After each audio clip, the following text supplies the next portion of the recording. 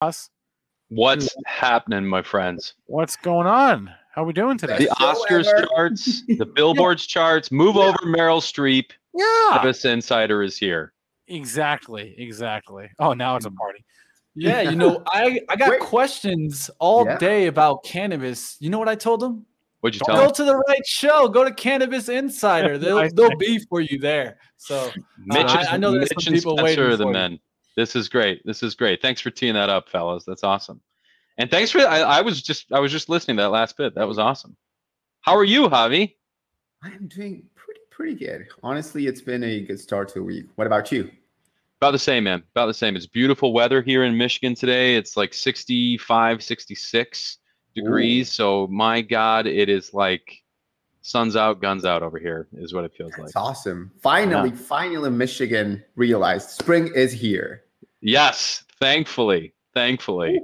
Um, Less than a month away from 420, and I think it's time for our introduction. let's do it. Roll it.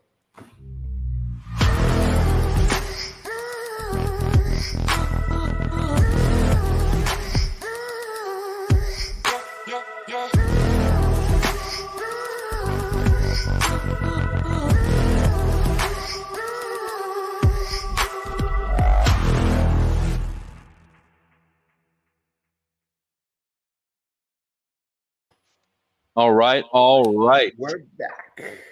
Back in action. Javi, I've got a few things um, Yep. for you Shoot. today. And guys in the chat, throw one in there if, if there is any excitement whatsoever about all the acquisitions going on in the space. Um, a two if you just don't care about acquisitions and you don't. but um, I'm excited. I feel like every day there's something else that happens that's really interesting. Now, why don't we start with this one, Javi? I, I am cannabis. I am cannabis. I know we talked about this one a little bit last week, um, but this is a cool one. One of the only um, operators, especially the in the the medical community here, that has a footprint in the EU, Canada, and Israel. Right? Yep. Um, and and Israeli company, in fact, they just got into North America through an acquisition. Yeah, well, and you have to applaud that, right? Because especially in this industry, it certainly seems like the footprint is the the number one thing. Doesn't matter if it's retail or clinics or or or brands, right? A lot of different ways to achieve what that footprint looks like, but um, but uh, yeah, you got to applaud those guys. Those are three hefty markets to have a foothold in. And here's something interesting. It's one of the very few, you know, non-North American cannabis companies now acquiring a big footprint or a like some kind of big operation in North America, right? That's we right. haven't seen many Israeli companies get into into the US. Uh, we haven't seen many European companies get into the US. And in fact, we haven't seen many US companies get into Europe either, right? The, the flow seems, seems to go like Canada to Europe, and that's about it for now. Yeah, yeah, yeah. Well, well, and I, I, I love it. Right. At, at least there's a an opportunity to spread the wealth a little bit. Um, we got a Yeah. question about CBDD, or maybe it wasn't a question. Maybe it's just a little pumping there. Um, you know, the, the stock's at two cents. Um, they're on the OTC. Looks like a market cap of around uh, just under two million. Yeah, I don't know. I don't know what what's what's to know about CBDD. We had a few uh, questions about it in the past. CBD of Denver, I believe, is a company. Uh, we are not a fan of small penny stocks. Not to say that that CBDD is or isn't great. They, the, you know, just the level of disclosure for for smaller companies isn't usually massive. Not a lot to go on. Uh, but I think we need to do our homework. So that's the 1st let's put yeah let's put that one on we'll we'll we'll look into that one we'll get back to you thank you jason for that one um yeah go ahead man No, not at all. I mean, uh, you know, going back to IMCC for a little bit, I am cannabis, right? You know, we were talking about this acquisition they made. They paid 101 million Canadian dollars to acquire Trichome Financial, right? So that says a lot. Oh, beautiful. We got the chart there. Kind thank you aaron kind of the chart there. We'll take it Um, so they, started trading on the Nasdaq very recently through a, a SPAC deal. So that's why we don't have so much info or or extremely high volumes yet, just because it's a relatively new stock. uh, and they didn't do much uh, press in the U.S. before before going to the Nasdaq. Right? I remember uh, covering the the company on Benzinga every week. They have a good PR team, but they pitched like me and not a lot, uh, you know, of other US based or, or Canada based journalists. So, you know, there was often not a lot of information around what they were doing. Company, definitely a company to keep an eye on. Uh, one of the most interesting players in Israel, especially publicly traded. We don't have a lot of those. There are a lot of very interesting private players in, in Israel, but the, like this is a very very cool way to play the the Israeli European market, and now you know a a financial play within North America as well. Absolutely, Absolutely. Um, well, listen, I have a couple more that I want to rattle off here. IMCC again, great company, great footprint. Let's talk about great companies for a second. Um, Do you want to talk about Trulieve? oh, no, we'll get to Trulieve. True, we'll get to Trulieve. I love talking about Trulieve. You know that. But know. let's let's let's start with Cresco. This is quick news. CRLBF is the ticker. Um, we heard from Bluma Wellness. Their shareholders approved that merger. Um, so yeah, interesting. Interesting uh, response in the market there, but that is big news for Cresco. They go into the Florida market with that acquisition. So CRLBF is, is that it, ticker. You, yeah. And what, what, what, what, acquisition is that one? I was thinking of because they acquired some like a psychedelics company as well. It's called um, Halucenex or Halucenex Life Sciences. Cresco it's did? a Canadian psychedelic assisted by uh, psychotherapy uh, focused company. Interesting. I did not hear about that. That's interesting. So that's Creso Pharma, probably not the same one as Cresco. No, Labs. yeah, it must be Cresco Labs. Cresco Labs, the big MSO. I, I, yeah, I'd be shocked if they they jumped into the psychedelic space so soon. So yeah. no, let's not let's not get it twisted. Cresco Labs, CRLBF that's an acquisition of Bluma Wellness, which puts them in the Florida market. Um, we all heard about their acquisition into the Massachusetts market uh, last week. I think it was about 158 mil or something they spent to jump into Massachusetts, vaulting into the top three position in that space. Pretty darn cool. Um, keeping it rolling. VRNO, VRNO, Verano Holdings. Verano Holdings. Here's what I love about this company they seem to be doing this strategically in a time. Mm-hmm. I don't know what you what you think right now, but at a time when all these SPACs are jumping into like seven markets at a time, right? Verano seems to be growing strategically, right? They just mm-hmm. acquired another business in Arizona to yep. further deepen their presence in that market. Um, but they're going to be huge, right? They they when they went public, they vaulted companies in this space, right? So it's it's been it's been pretty cool to watch them and the pending, you know, we, we discussed this in the past, but the pending merger with uh, makes them particularly interesting and, and, you know, one of the potentially one of the largest cannabis companies in the world.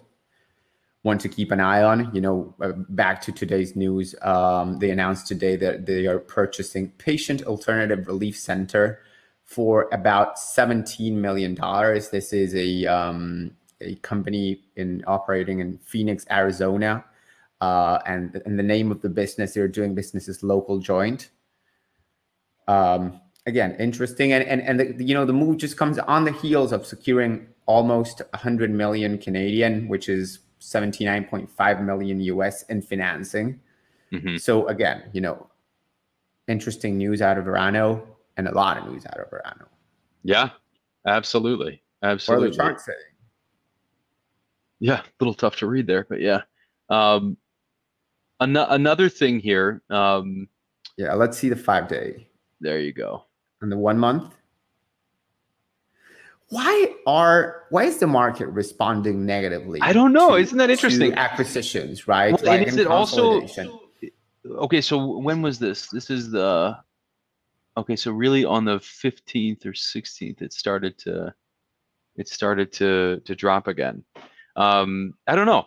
Perhaps it was the turn in the market. Maybe we haven't had a full bounce from the Safe Banking Act yet um, and the reintroduction into Congress, but I do expect the market to respond to that. I'd be shocked if it didn't. I mean, ETFs are slightly down today, but you know, for, for specific companies, I'm still a little bit confused. Do you think it's it's just you know investors uh, Uh, look at the worried about uh, you know exuberant spending coming back to the industry after what we saw a couple of years ago. I don't Uh, think it's why are they not rewarding this? maybe maybe but i don't think so. I mean look at the last question beat street music. Why did cannabis stocks today tilray due to the firing of white house staff for the past cannabis use right? Um, so listen this is interesting. There were several staffers let go from the white house the biden administration um, because of past marijuana use right Mhm. javi have we heard any more about that is there has there been any explanation Not a lot. I mean, they're bashing, they're bashing, you know, uh, Biden's administration really hard, especially because only a couple weeks ago he had said he would not do that. And here's the here's the you know the plot twist. Kamala Harris last year said she had consumed cannabis. She said, "I consumed it and I inhaled it." You know, so And I what- inhaled. what- the what- Bill know- Clinton, I did not inhale. Or, or Al Gore or whoever Obama said said he did inhale, and I think it's a thing. It's a presidential thing. That's the way you say it. I, I smoked cannabis, but I inhaled it too. Now, my question is, will he also fire Kamala? You know, like what's the standard there? You know, wh- where do we draw the line? Of course, he won't fire Kamala, but you know, talks a little bit about double morale. I don't Yeah, know. well, I'm- I'm it, it makes no sense. It makes no sense. I mean, why would you fire someone if it's, i- uh, if it was, um, well, if it's legal, especially in, in, in whatever market they're in, and even if it's not, if, if we're legalizing it and decriminalizing it in certain markets and ideally federally, then why should it matter, right? Um, Yeah. Okay, so very interesting. Obviously, we have our own opinions about it, but um, but perhaps perhaps that has had an effect on the market. I'm not sure. Um, certainly something to think about. Um, Elliot mentions Valens and Chiron having a good start to the week. I saw that too. Um, Valens is an interesting company. This is VLNCF, uh, big in the extraction space. I, I think well under value in terms of of uh, the relationships this company has in the space um, and how long they've been in the space. I'd be shocked to see Mhm. that stock sit at that level uh, a whole lot longer. Right? Um, again, Mhm. just my personal opinion, but a dollar eighty-seven. Well, They're up here- about 8% today. Here, that, that is a different response, right? On Friday, they announced they were acquiring a uh, an edibles manufacturer for like twenty million dollars. LYF Food Technologies. Stock stock has been rallying since, right? Yes, yes. Well, they they announced that they were going to do. So, what did what did the acquisition close on Friday?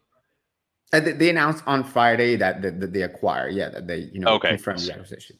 Got it, got it. So it was confirmed. they, they, they had announced it previously. They finalized um, the the purchase on Friday, or at least you know they announced it. There's always a little bit, you know, a few days between, uh, well, you know, when things happen and when they press release, right? So they announced they closed the acquisition. That m- could have happened on Monday, maybe, right? Mhm, mhm. Probably. So yeah, this market it doesn't make a whole lot of sense right now. Um, you've got certain you've got certain companies like uh, Harvest Health and Recreation, HRVSF, HRVSF.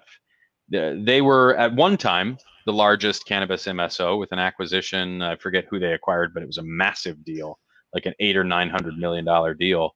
Um, they're up in a, about a percent and a half today. But why? Yeah, I think they just settled a lawsuit, didn't they? Something of that nature. There was some sort of um, uh, of settlement that was reached with Falcon International. I think was the name of the group. But um, perhaps we can pull that up. I'm not sure. But why should they be up? And Curaleaf, C U R L F, is down almost a percentage point today, even though they had very positive news last week with their deal with Planet 13, who is up. PLNHF up about another 2% today. They're trading at about 672 a share. Really, really positive company. I mean, Um, many of these these companies are not trading up or down on, on specific news, right? It's just the volumes and people people Oh, of you know, course, of acquiring course. positions or, or or you know kind of cashing in on gains. Also, the fact that they're still relatively small in terms of market cap and relatively low in volume means that any market maker can make one move and, and really you know move a stock. And I've seen a lot of that, right? Of, of, of companies being heavily shorted by by by, by a fund and and and really you know one one or two investors being able to determine the fate of the entire company and its investors like its retail investors is not uncommon in cannabis Right, right. Well, it's just interesting, right? Especially because some of these companies are doing deals together, and one of them's up, and one of them is is definitely the opposite. Um, yeah then Kyle mentions High Tide is up today. Actually, yeah, that is true, and, and it's because they for, uh, filed their Form 40F for uh, the Nasdaq listing with the SEC. great move for them, I think. Yeah, another one to keep an eye on. I really like to see more and more companies, you know, from the cannabis space getting into the Nasdaq and the New York Stock Exchange. It seems the Nasdaq has become particularly friendly, you know, and, and open to to listing cannabis stocks, as long as they're not touching the plant in the US, right? That Right. continues to be their mandate. But they were but they were playing around for a little bit. I remember, you know, three, four years ago asking them, Hey, are you ready to list cannabis stocks? And they were not quite ready. Now they come to come to terms. And of course, we did see like some listings a couple three years ago, maybe even like, you know, Akerna or, or Greenlane. But but they were mostly staying away from all these companies touching the plant. And now Right. they're listing them. And we're seeing a lot of companies transition toward the Nasdaq as well, right? We saw Aurora and Aphria, you know, from from go from the New York Stock Exchange to the Nasdaq, right? Yeah. Yeah. And I think that is somewhat related to the fact that it's like a younger exchange, right? So many of the retail investors investing in cannabis skew a little bit younger. I don't know, just a random hypothesis, to be honest. No, no, I think that's very valid. You're asking about uh, Akerna earnings. I just want to see what the exact timing of that is. Yep. So it's it's slated for today. I haven't seen anything come out yet. Javi, have you? Not yet, but they should No. be out. Kerner news. Yeah, I haven't seen it yet. Great company. Jessica. Billingsley is the CEO there. Um, I don't know. Beat Street Music. The the comment just to take us back to why potentially we're looking at um, a bunch of stocks being down today, right? I, I don't know. I don't know. I, I I like to think that the administration has to. They're kind of in between a rock and a hard place. It seems, right? They they're they they're quite moderate in terms of what they have to portray, even if they uh, they're trying to push through a a certain agenda, right? Now we know, given especially Mhm. that video that you posted earlier today, Javi, of Cory Booker and uh, Chuck Schumer and uh, who was it, Ron Wyden, Yeah, just about- there's just like tension, right, in, in the federal government, and and uh, especially among Democrats. You know, like will they deliver on all these promises to relax cannabis laws and and decriminalize and expunge records or not? And I don't know, like you know, because lawmakers are signaling that they, you know, they're interested in doing this, that there's interest in the government, but then the executive branch is saying something completely different, or at- the very least signaling something completely different. And by the way, if you ask me, is this a good time to be really like firing White House uh, White House staffers for cannabis use? And I'm not saying like they should or shouldn't. Of course, they shouldn't. But there are extremely more like extremely more urgent priorities yeah, to deal Yeah. with right now. Like you just so you know, someone chose those staffers, right? They took the time to hire them and to train them. They're now being fired, and someone has to spend time finding and training new staffers in the Well, middle there- of the largest healthcare crisis America has had in hundred years. Well, let's let let's see what other shoe is about to drop. I and who knows? I'm not prognosticating, but I would say there must be some reason, right, other than just there was marijuana use, right? There Mhm. uh, maybe there was some sort of past indiscretions. Maybe they were doing it somewhere they shouldn't have been doing it. Who knows, right? We don't know the full ins and outs of that, but I agree with you. I think the signaling that's happening. Obviously, we talk about that a lot in our, our political climate here in the U.S. Um, it, it, yeah, who knows? Who knows what exactly they're trying to say? But right now, we know it's not a great positive message, right? So, So, I, I, I, want to answer a few questions and and you know kind of weave in some news here. Uh, for Mochi, you ask us if we look into OTC uh, stocks. Of course, now we're getting into Trulieve. One second before that, Benjamin is asking, "What's the safest ETF to invest one hundred and fifty thousand dollars?" That's a lot of money. Uh, we cannot provide financial advice. Here are the, the, the ETFs I think are cool. Uh, there's MJ. They're all New York Stock Exchange traded on the New York Stock Exchange ARCA, of course. So we have MJ, YOLO, that's Y O L O, MSOS, then THCX, and CMBS. CMBS is run by our good friend Tim Seymour from CNBC. THCX is, uh, you know, we, we have John and Jerry and another friend of the house involved in the in the in the ETF. This is not to say that that that MSOs, YOLO, and MJ are not great. MJ is the largest, you know, by by market cap, followed by MSOs. They're both issued by the same ETF issuer called ETFMG. Uh, Jason Wilson does a great job there. Um, but you know, check out performances. Uh, I've seen CMBS perform particularly well recently. Right. They have a very active, like they have an active approach, uh, whereas MJ or MSOs uh, are tied to indices. And then there are strategies in between for the other um, ETFs. But you know, take a look at those five. Once again, Also, MSO, re- yes. remember to look at what's actively or passively managed, right? That's that's something. I mean, you ta- you hear um, Yeah. Tim And- and Seymour there's- talk about yeah. it. Yeah, there's no right answer, right, for active or passive management. I've asked a million people, and they go like, "Well, I mean, you know, active management is more expensive in terms of fees and, and expenses for the fund. At the same time, it allows you to respond better, but at the same time, you know, performance is is it doesn't always go hand in hand with active management. So, you know." There- It's not inherently good or bad. Just look at who's managing and what their track record has been so far, right? right. Now, Javi, I think you you were going to talk Trulieve. Yeah. just jumping into Trulieve, you know, they were asking, uh, do we do we look at uh, OTC traded stocks? Well, Trulieve Cannabis Corporation trades on the OTCQX. The ticker is TCNNF. TCNNF. This company was very, very, very, very hyper focused in Florida. Massive operator in Florida. They were, you know, one of these single state operators. Guess what? They just got into West Virginia. What's up with that? They acquired Mo- Mountaineer Holdings for about six million dollars. It's um, a cultivation permit and two dispensaries. Uh, and it Didn't they also just get- did not like it? You know, because one of the things that that Truly was was doing awesomely was focusing on one market. I I am a, a, a you know a believer that it was time for them to expand beyond Florida. You know, their footprint is massive, but the response of the markets, you know, suggests otherwise. I don't know. I love Truly. I love no, CEO. great- great company. I love her you know, execution strategy, and every one of her partners and investors love her. You know, like just partners love Trulieve as well, and that says a lot, right? Because when there's money involved, it's easier for us to say, "I love Trulieve," right? You know, we just cover them. Yep. You know, we, we we look at what they do.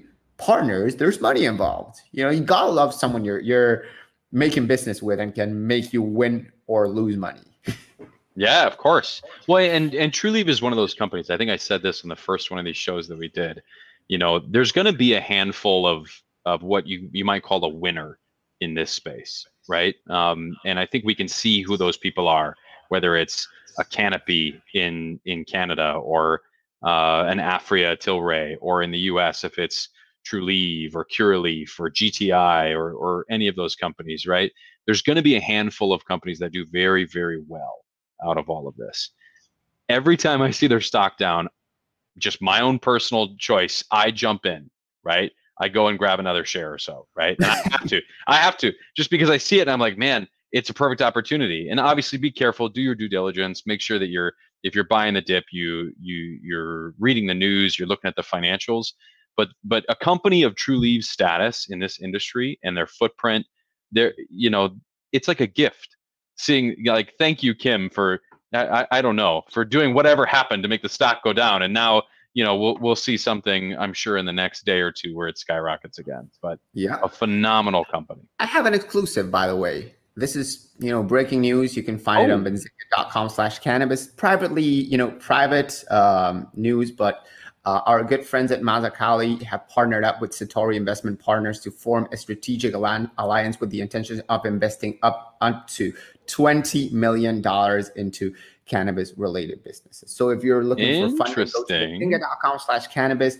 They will cut checks between half a million and five million dollars. They are looking for experienced, experienced management teams, exemplary record keeping, positive cash flows, or a clear path to profitability, and companies operating in ma- markets with healthy supply and demand traits. So check it out, benzinga.com slash cannabis for more information. Exclusive, you heard it here first. Very cool. 20 million bucks. That's awesome. million. It could fund as, as many as 40 companies or as you know little as four, you know, Yeah. depending on the checks they cut. But No, that's cool. I, I love Sumit and the guys over at Mazakali. They're very, very smart guys. Um, oh, Elliot, I'm sorry. Hexo is toying with his emotions. I know. I get it. I get it. Hexo's a great company. Um, so Javier, if you had to see uh, of all the Canadians right now, especially with the recent investments into, let's say, Organigram, Okay. OGI, or the news out of um, Cronos Group, right? And and what's happening with the they've got Kristen Bell's Happy Dance brand and throwing that into the I Ulta love stores. Kristen Bell too. Like Who that. That's, love that's Kristen Bell? And Cronos is great, dude. I don't know. And it, um, I always admired how young their CEO is, Mike. He is one smart cookie, right? He he started running this company when was he was like what 24 and managed to grow it incredibly exponentially. I don't know. There's something about it that just makes me feel bullish always. Yeah, no. what was your question? Sorry. No, no. So the, of the Canadians right now, I mean, who do you who who do you have your eyes on? If there's if there's uh, if a handful of winners, again, maybe pick no more than two or three right now. Mhm. Um, but who do you who do you say is leading the charge for Canada? I mean, f- for the big ones, I really like you know the potential of Aphria Tilray. You know when they merge. sure. Um, Aurora is always a good pick for me as well. Um, th- those are the larger players, right? So it's like those are easy picks. Mm, you know, High Tide is a cool one to be honest as well. You know, the, the we were talking about their their Nasdaq listing, um, probably sometime in the next couple of months. Cool one to you know keep an eye on. Could be up if if they you know get into the Nasdaq. I think that could give them an, a nice little bump. Sure. But what about the mid tier then? Like let's or a mid tier might not even be a fair representation, but your your Hexo, your Organigram, your Cronos Group, your Village Farms, you know, um, some strong, I mean, strong yeah. companies. Yeah, Village is a great one. I know you love it. Uh, I you do, I do. I do like Hexo. I do like Cronos. Of course, always um, uh, uh, CGC, right? Canopy is is is a very interesting bet. Uh, going back to the big ones. Um, I mean, those are, are kind of the ones I'm looking at. Namaste. Uh, Yeah. yeah, and the Supreme Cannabis Company. Oh, Emerald. That's that's one I really like. Emerald Health Therapeutics. They have a billion verticals and different companies within the company, and it's like they have an interesting business model and they know what they're doing. And every one of their their you know the, the companies under the the parent umbrella is really well run. Um, before You we, know- we close the day ahead. today, you know, Grow Generation, just because we've been bringing it up so much, NASDAQ GRGW, Gruge, as I call it. Uh, another acquisition, eighth acquisition in 2021. Uh, they acquired a wholesale agricultural platform called Agron.io. They did not disclose the price. That has become a little bit of a uh, of a tendency. Last week they announced three acquisitions. They didn't disclose the price. Um, my question is why? I really like to know what how much companies pay for for acquisitions. Right? Makes Uh, me the, the ticker makes me feel if not that that the acquisition was either too small or they overpaid for the company. that's interesting. I hadn't thought about that. It's the ticker I believe is GRWG, is it not? GRWG. GRWG. Okay, just making sure. Thank you, Aaron, Yeah. for correcting that. Um, I don't know. I don't know if they overpaid or not, but I, I will tell you this: they're constantly acquiring businesses. They're expanding their footprint. Again, we talked about that to begin the show today. Um, you can do a footprint in this in this industry and execute it a number of different ways. These guys have absolutely destroyed it. Um, if you don't mind, though, I want to end with one stock that I don't think we talk enough about. They have earnings. Sundial? They, oh God Almighty! Um, so that's SNDL Sundial for those of you who haven't, I don't know, opened a computer ever in your life because they're everywhere. Um, no, which was it? The the stock that I'm interested in, and I think they have earnings tomorrow, is TerrAscend. So you've got uh, TRSSF, TerrAscend, um, a crazy, crazy good company. Um, under the radar, they've been under the radar for a long time, right? But you've got Jason Wild, you've got Tim Seymour, you've got relationships with other major, major companies uh, in the space. It doesn't Canopy own like or or Yes. have yes? Yeah. what's Yeah. the deal with Canopy in that? in Yeah, that they had a stake, in the, uh, I mean, it's I think it's Canopy Rivers, the investment arm. Uh, Oh, that's right. Okay. Into, and into TerrAscend. Here's my one concern, right? And and I think it's shared by analysts. New York might go rec anytime, and and then implementation could be fast. If New York beats Jersey to the punch, TerrAscend only has operations in Jersey in that region. So they could be they could they wouldn't be the largest beneficiaries of it. On the other hand, if New York fails to legalize, they stand to to reap enormous benefits from being a major player in in the in the um in the region, right? And, and Mhm. generally Northeast and and New England. And they could be receiving a lot of tourism and a lot of people buying, right? Yeah, no, it's interesting. I don't know. and who knows? New York, I feel like they've been hinting at it all year. I, I've heard What- about what New York is, going legal. If you like TerrAscend uh, or you want to play a New Jersey play, just hedge your bet with with one of the good, you know, someone who's well positioned in New York. And again, benzinga.com slash cannabis, you'll find a report by Cantor Fitzgerald, Pablo Zuanic. We quote him very often, and he breaks down which are good plays for New York and for Jersey, you know, in, in different situations. Cool. Well, that's a good note to end on, my friend. we have After Hours with Ryan up next. Oh, after hours. That sounds very classy. That's correct. We're, we're a classy place, guys. Classy, classy. All right, guys, smash the like button. Let's go. Let's go. Smash that like. Enjoy yourselves. Enjoy yourselves, everyone. And and I'll I give you the gift. t-shirt tomorrow. of to Spencer less Israel. classy. Yes, please. What do. do you think of that? Check mark from me. Spence, you're the man. Thanks for having Absolutely. us, pal. Javier and Patrick, thank you very much. All right. All right, after hours.